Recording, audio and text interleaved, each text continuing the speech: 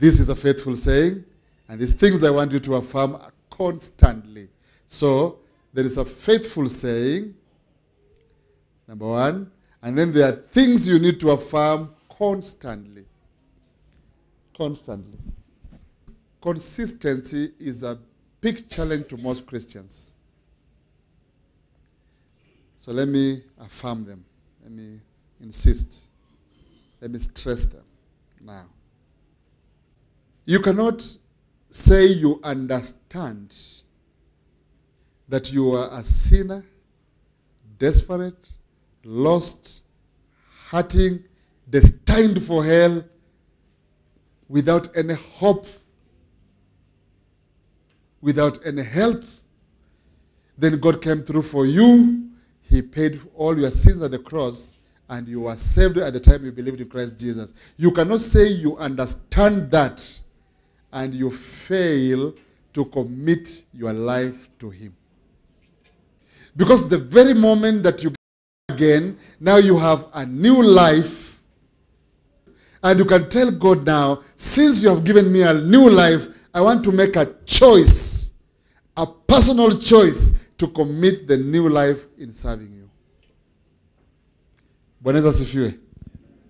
We want when we pray, God answers. When we ask, He gives.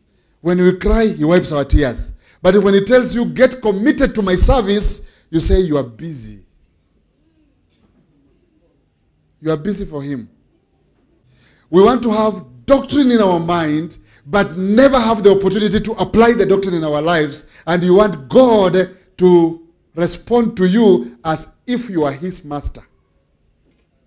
If you are employed in an office and you're supposed to report at 8 and leave at 5, if you start reporting at 10, it will not be long before you lose your job.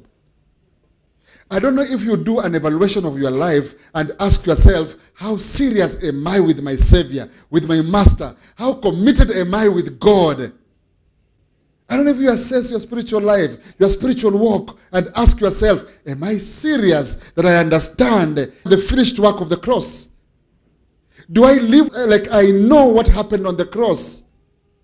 Do I live like I've been rescued, delivered, saved from hell, from the kingdom of Satan? Do I look like I understand that? It's important, brethren, to start assessing our lives. We ask ourselves, how comes? How comes God is not doing this for me? How comes? What are you doing? How are you responding to his finished work at the cross? God is not a genie that you come and give a few coins here, then can I say, God, because I've given, God do this for me? No. No, no, no, no. God cannot do that.